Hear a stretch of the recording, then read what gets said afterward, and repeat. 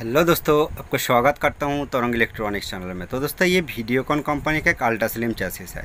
ये मैं अलग पिक्चर ट्यूब पर लगा के टेस्ट कर रहा हूँ। आपको एक बार दिखाना चाहता हूँ कि ये टीवी ऑन करने के बाद इसका अंदर एक अलग सा प्रॉब्लम देखा जाता है। तो ये जो प्रॉब्लम ये किस तरह प्रॉब्लम आ रहा है, आपको डायरेक्ट दिखाना चाहता हूँ, ठीक है? अब प्रॉब्लम को अच्छा करके एक बार देख लीजिए और उसका बाद इसका प्रॉब्लम ये जो प्रॉब्लम कैसे सॉल्व किया जाता है, मैं आपको ये वीडियो के अंदर दिखाऊँगा, ठीक है? तो देखिए मैं टीवी को स्टैंड बाई से ऑन किया। ऑन करने के बाद मैं ऑडियो वीडियो सब कुछ कनेक्शन देख के ही रखा हूँ।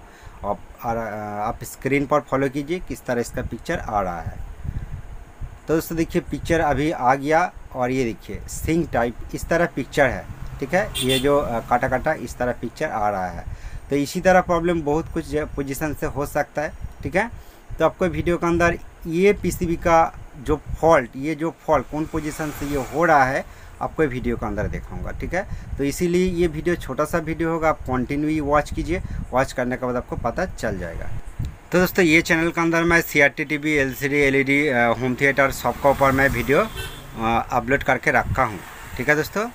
तो दोस्तों, चलिए ये प्रॉब्लम रिपेयर करने का पहले तो दोस्तों, ये प्रॉब्लम रिपेयर करने का पहले आपको मैं बताना चाहता हूँ कि ये जो चैनल का वीडियो आप लोग देख रहे हो, जो तरंगो इलेक्ट्रॉनिक्स चैनल ये चैनल कब ना कब डिलीट हो सकता है। क्योंकि ये चैनल का अंदर एक वार्निंग स्ट्राइक आ गया। तो ये जो वार्निंग स्ट्राइक है ये वार्निंग स्ट्राइक कभी रिमूव नहीं होगा। हर लाइफ टाइम ये चैनल का अंदर ये वार्निंग स्ट्राइक रह जाएगा। और तीन महीने का अंदर और दो स्ट्राइक आएगा तो ये चैनल पूरा तरह से डिलीट हो जाएगा।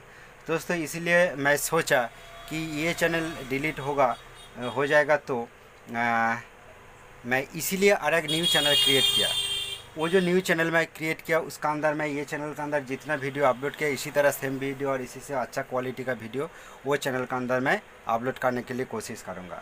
इलेक्ट्रॉनिक्स प्रॉब्लम रिलेटेड तो इसीलिए वो जो चैनल इलेक्ट्रॉनिक्स फोरम नाम को मैं वो ये क्रिएट किया तो वो चैनल का एक वीडियो लिंक मैं ये वीडियो का डिस्क्रिप्शन बॉक्स के अंदर देख के रखा हूँ।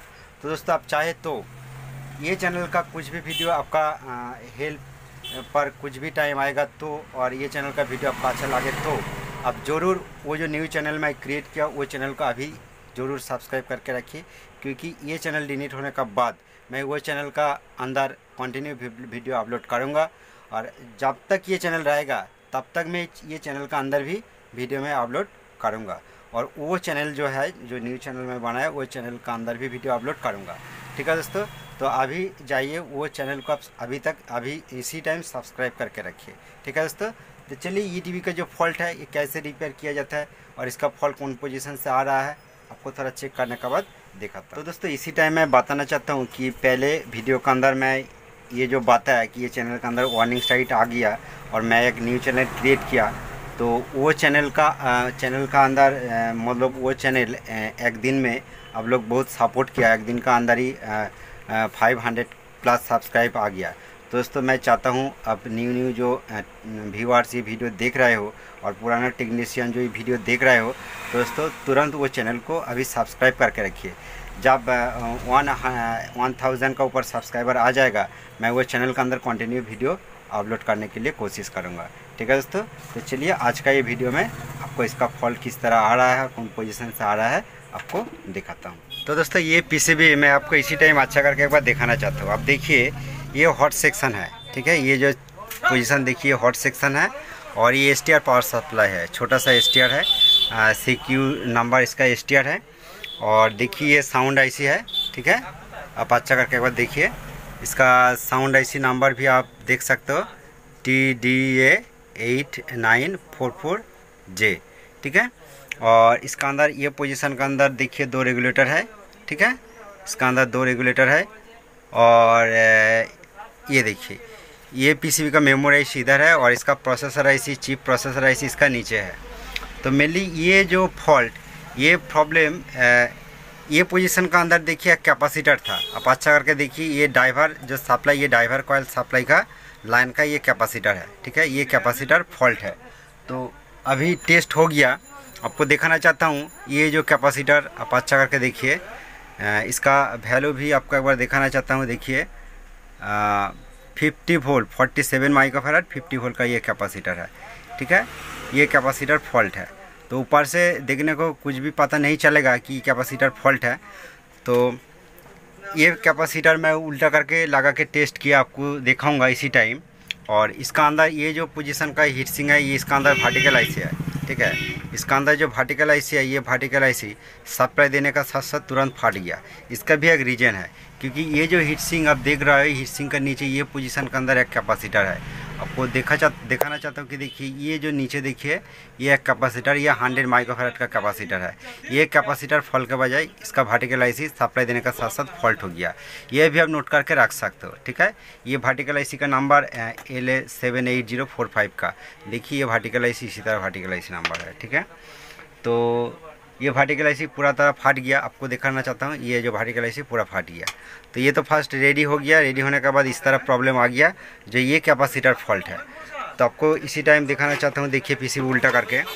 देखिए इसी तरह इसका पीछे साइड है ये पी ठीक है? इसका पीछे साइड है और ये पोजीशन का अंदर देखिए कैपेसिटर हंड्रेड माइक्रोफेरर लगा के टेस्ट हो गया। क्योंकि इसका लाइन आपको दिखाना चाहता हूँ कि देखिए ये जो पॉइंट है ये आ, जो डाइवर सप्लाई देखिए यहाँ पर डाइवर सप्लाई आता है, ये जो डाइवर सप्लाई का इनपुट पॉइंट है, ये कॉयल है। ये डाइवर सप्लाई का आउटपुट पॉइंट है, ठीक है? ये डाइवर सप्लाई का सप्लाई इनपुट पॉइंट और ये आउटपुट और ये जो लाइन देखिए, ये डाइवर ट्रांजिस्टर है। ये डाइवर ट्रांजिस्टर पर यहाँ से सप्लाई जाता है। मिली ये जो कैपेसिटर इसका पॉजिटिव साइड है और ये नीचे निगेटिव है, ठीक है? तो ये हंड्रेड माइक्रोफेरेट कैपेसिटर लगाने के बाद इसका प्रॉब्लम सॉल्व हो गया। तो चलिए आपको एक बार ऑन करके दिखाता हूँ। ठीक है? चलिए मैं ऑन करके आपको दिखाता हूँ। देखिए सप्लाई दे दिया। और उसका बाद चलिए स्टैंड बाई से एक बार ऑन करना पड़ेगा। दोस्तों, ये मास्टर रिमोट है। ये रिमोट से ये वीडियोकॉन का चैसिस है, ठीक है? तो वीडियोकॉन टीवी पर ये रिमोट आप यूज़ कर सकते हो। सैमसुई आकाई बीपीएल टीवी के अंदर भी यूज़ कर सकते हो। वीडियोकॉन सेट करने के लिए आपको एक बार पुश करना पड़ेगा। तो दोस्तों, इसका अंदर सेंसर कनेक्शन है और उसका बाद स्टैंड बाई से चलिए मैं ऑन किया। ठीक है? ऑन करने के बाद मैं वीडियो ऑडियो वीडियो कनेक्शन दे के ही रखा हूँ और इसी टाइम अब देखिए इसका प्रॉब्लम पूरा तरह से सॉल्व हो गया। अब थोड़ा सा वेट करना पड़ेगा पिक्चर आने का समय। दोस्तों, देखिए पिक्चर बिल्कुल अभी ओके चल रहा है। तो थोड़ा ब्लोअर लग रहा है, चलिए मैं आपको क्लियर करके दिखाता हूँ।